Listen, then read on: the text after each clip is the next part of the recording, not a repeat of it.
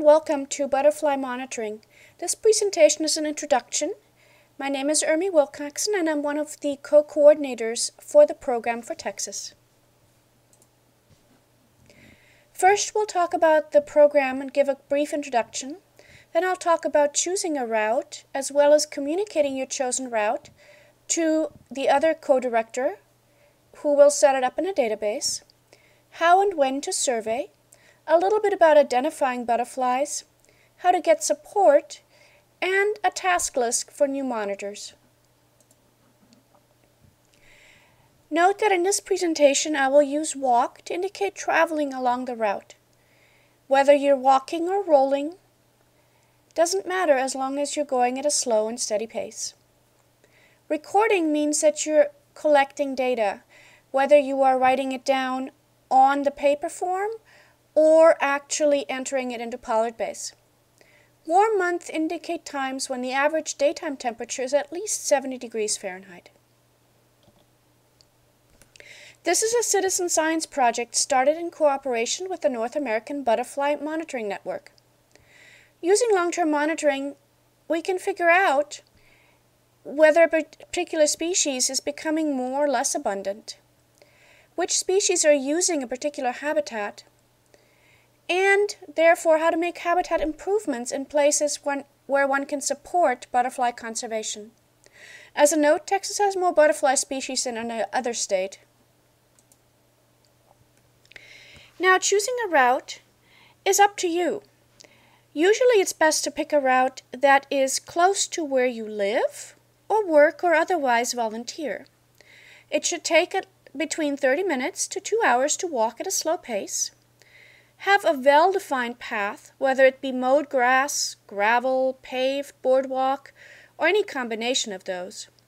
It has to be accessible to, to the volunteer throughout the warm month. Note, I didn't say accessible to the public. Private property can and should be monitored so that if you only have access to that property, that's okay.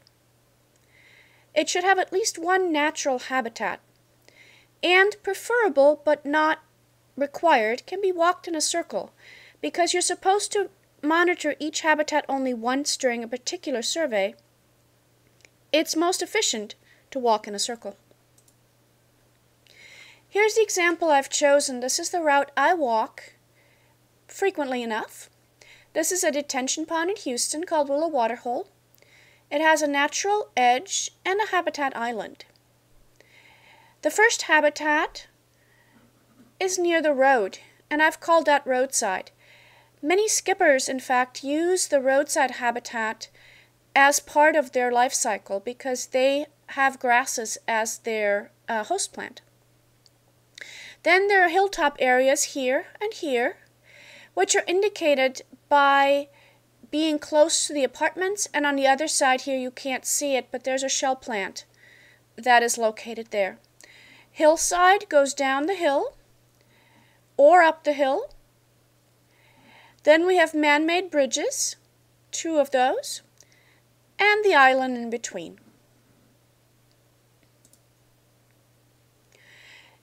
Now, some questions you might ask yourself about a possible route, something that you have in mind. First of all, is it accessible when I want to monitor? So that goes back to some areas are only accessible during certain parts of the year or on certain days. Uh, does it have multiple habitats? It doesn't have to, but if it has more, more than one habitat, it's more fun to monitor. Do a lot of people use this area? And am I okay with that? So that's a question as to whether you want to be out in nature by yourself or you feel more comfortable in a park-like setting where you have lots of people around. Either is okay. It's just something to think about. And of course, safety. Is it safe for me during the day? That is a question you should be able to answer by talking to other people and kind of using your own common sense. Communicating your chosen route to the co-director is detailed in the Creating a Route with Google Maps guide. When should you survey? Preferably at least eight times per year at least four times before July 15th and four times after July 15th. on days when it is at least 70 degrees Fahrenheit. Although the ideal weather is sunny and little wind, I've seen many butterflies when it's been partly cloudy, mostly cloudy, and slightly windy. Butterflies are most active between 10 a.m. and 4 p.m. But when the temperature rises to like 102, sometimes it's better to start a little earlier before 10 o'clock and end maybe a little later uh, after 4 o'clock because it's just too hot to be out. That's a decision that you can make. Now, this is a big one. Only one person can look for butterflies. A second person can be a scribe, so there should be no more than two people working, walking that survey route at any one time. If you're by yourself, then you are both monitor and scribe. If you have a partner, then you decide who's the monitor and who's the scribe, and that should ideally remain constant through the season. Walking at a steady pace is super important because one of the metrics that we will calculate is butterflies per minute. So having a steady pace is really important. Now your survey area is like being in the center of a clear sphere extending 20 feet in all directions. What that means to me is that I'm looking side to side, forward, as well as above me as I walk along. Now, above me is not particularly critical if you're surveying a prairie type habitat. However, if you have a lot of shrubs and or trees as part of your habitat, those are areas that you want to look up as well as out because there are some butterflies that actually have trees as their host plants. So they may be spending time on those leaves in those trees. And so you want to be able to find those as well. Now, when you're recording your data while walking, you'll be using a paper form that I've sent to you in an email. Recording the start, end, and break times are critical You'll notice that I've actually recorded the break time using hash marks so I can um, just simply count those and put in the number of minutes for a break. Other people record the start time and the end time of the break. You can note unusual or changing conditions in the comments section. Although this is not required, it can be somewhat helpful. And then you, you'll use tally marks to record butterflies in the appropriate habitat. So for example, on this survey, there was an unknown sulfur in habitat D, which is hillside. I also saw some Ceraunus blue, as well as common buckeye. You'll note that in my survey form, I've left spaces for unknown sulfurs. And yes, I have three lines because sometimes I see a lot of sulfurs. I've also entered a checkered skipper and an unknown skipper because these are species that I see very often and often in quantity. So it's very easy for me to just write those down. Other species I may not may see one month and not the next month. So I write them in by hand. Now, keep your data forms. Although you'll enter data online into what's called Pollard Base, the database that we use. It's vitally important that you keep your original data forms. So, for example, if your route has not been established in Pollard Base, you can still monitor and record data. As a matter of fact, after you're done with training and you've established your, and you have selected your route, I should say, and sent it to the co-director, go off and monitor. Don't wait for the co-director to get back to you and say, hey, it's been established in Pollard Base. You can go ahead and monitor, that's just fine. You can enter the data once the route has been established in Pollard Base. But also, very importantly, if there's a question about your entry, you can go back to the form and check that. As far as I'm concerned, whatever you write down in the field is the truth. So when there's a discrepancy between what's on your paper and what's in the computer, which you entered at another time, What's on the paper trumps. Pollard Base relies on accuracy, not precision. So it is better to record a butterfly as an unknown hair streak than to guess and get it wrong. Especially people new to butterfly monitoring will have many entries such as unknown something, even unknown butterfly. That's okay. Better to call it unknown than to guess and get it wrong. You will become more comfortable identifying the most common species you see along your route, and you'll be able to spot field marks that will help you find others in your field guide. Now, details on how to enter your data are in a separate presentation. A bit about identifying butterflies. Some of you will have a lot of experience identifying butterflies, others not so much. So I've put down some of the most important things that I look at when I try to identify a butterfly. Size, shape, flight habit. Does it fly quickly? Does it fly slowly? Does it settle down? Or is it pretty much always in motion? Does it perch with wings open or closed? Some species perch with wings open almost exclusively. Others perch with wings closed almost exclusively. And some flap their wings. Of course, color. Color of the upper wing surface, color of the wing underside. Color and markings of wing margin, that's actually pretty critical for telling some butterfly species apart. And body color, which is often very hard to find. The way I like to identify butterflies is to look first, photograph next, and then look again. That is, of course, if the butterfly is still enough for you to do so. Spend a few moments looking at the butterfly. And in your head or out loud, check off the size, shape, color, any markings that stand out to you. Check your guide. Compare it to the butterfly. By this time, the butterfly may have left, but you may or may not have identified it at this point. If you can get a few pictures, that's great. Then look again. Look at the wing margins, look at the body color, look at the antennae. That'll all give you additional information that will help you narrow down your species. Now, let's talk about butterflies versus moth versus grasshoppers. Depending on where you're monitoring, day flying moth may be rare or very common. The area that I monitor has very few day flying moths, and they clearly look like moths.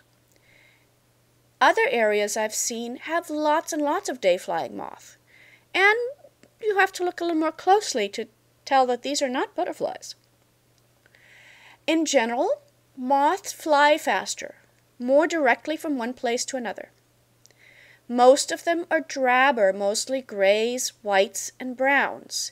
The exception I show you is this one here on the right, which is a white-tipped black. Now, you'll notice it is resting with the wings open, and it does not flap its wings when resting. Also, what's very clear in this picture are those fuzzy antennae, and that's a hallmark of moth. Butterflies have what's called a club antenna, which just means it's a stalk with a thickening at the end. Grasshoppers, on the other hand, often make noise when they fly. They fly in an arc from ground up in the air back to ground, and usually they land with kind of a plop. They tend to fly shorter distances, and most, though not all, grasshoppers tend to be greenish or brownish. Taking pictures for butter of butterflies for identification. Now, if you're a photographer, bear with me. This is for those of us who simply walk along, see a butterfly, want to take a picture, and grab their phone. If possible, get down close to the ground or flower or grass where the butterfly is resting. Importantly, do not let your shadow fall across the butterfly. They tend to notice that and leave. Take lots of pictures, as, as you can. It's often hard to tell in the field which image will show the field markings you can use to identify a butterfly or to exclude some species. I've taken pictures of one time seeing a skipperling, which is just the size of the tip of your thumb. It is the smallest butterfly.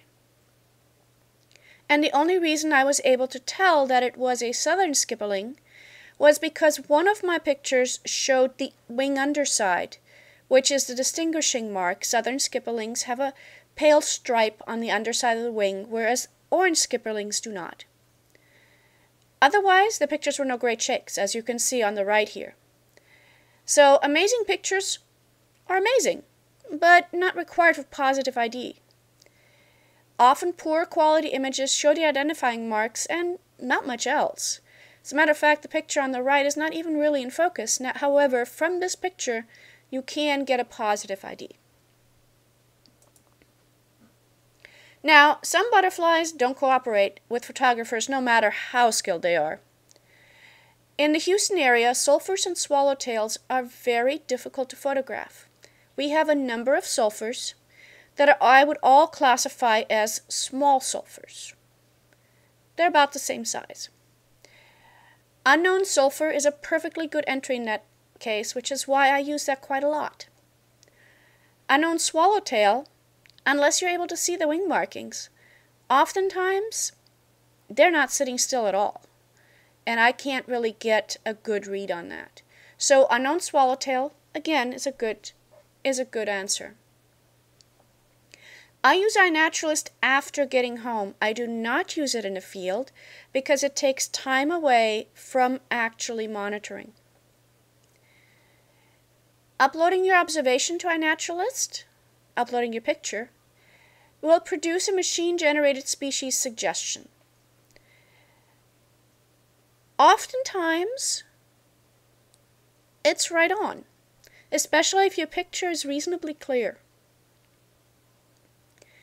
But if the IDs, if the top two or three species suggestions are all possibles for the picture I took, then I don't accept an ID unless at least one user agrees with me and the machine. Um, there are many very experienced users on iNaturalist, and they will try to help you out with an ID, even if iNaturalist comes back with something that doesn't probably make sense. The other thing that, though, with iNaturalist that's really super helpful is the species suggestions are not geographically limited. In other words, you may get a species suggestion for a butterfly that is only seen in Canada or only seen in Mexico. So you can check on the map and see other people have seen this particular species. And if it's never been seen in your area, okay, you might be the first. But you might also question your ID and maybe look at some other IDs, closely related species or something that looks like it, um, to see what you have. If you do end up having something where you're just not super clear, it's not super clear, feel free to reach out to Bug Guide. They also have a lot of experienced uh, volunteers that help with that. Uh, you can also send me an email at, Butterfly Monitors Texas, and I can provide you an opinion. Uh, sometimes I have exper more experience looking at field markings, and I may be able to find the butterfly for you um, that iNaturalist was not able to find. So, how to get support? First, please do your homework. Review the presentations and the materials that we've given you. If you still have concerns or questions, do send an email to butterflymonitorsTexas at gmail.com. But make sure that you put your concern, your question, in the subject line. If it is about butterfly ID, put that in your subject line. If it is about how to get a route going or route related issues, put that in your subject line. If your question if your wondering whether your route has been established in Pollard Base, put that in your subject line. We will do our best to get back to you within three days. However, we, as the three co directors, have split up the tasks. So, using the right subject line will make sure it gets to the right person, the person that can actually answer your question or concern or help figure out what's going on. Now, lastly, here's a task list so that you have something to refer back to. Create your account on iNaturalist if you haven't already done so. It's optional, but super helpful. Make sure you have a field guide for your region's butterflies, something that you can actually carry with you. Create a Pollard Base account. Go to pollardbase.org and create a new account. New accounts have to be approved by a director. I will be going into Pollard Base frequently to check on uh, new volunteers and make you active. Select and submit your route. See the Creating a Route with Google Maps for details. And then get out, get outside, observe and enter data into Pollard Base. Thanks for your attention. Hope to see you around.